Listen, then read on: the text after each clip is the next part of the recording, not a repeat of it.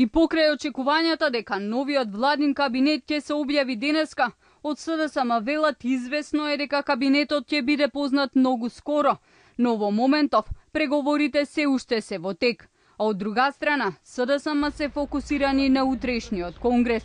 Работните групи се состануваат, преговорите се во финална фаза, веќе се дефинираат и кадровските решенија паролот на СДСМ Петреш Илего вели во моментот кога целосно ќе се договорат и ресорите и кадровските решенија ќе се достави предлогот до собранието.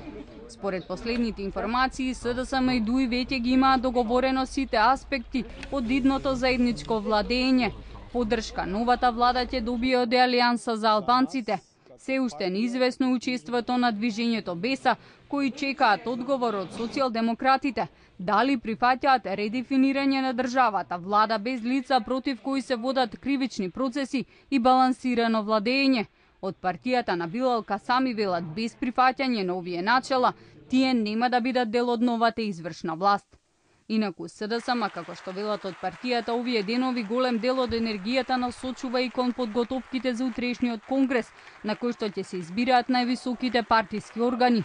Околу 700 делегати утре со почеток од 12 часот во хотелот Александар Палас треба да гласаат за преседател на партијата, нов состав на Централниот и надзорниот одбор. До овој момент единствен кандидат за партиски лидер е Зоран Заев.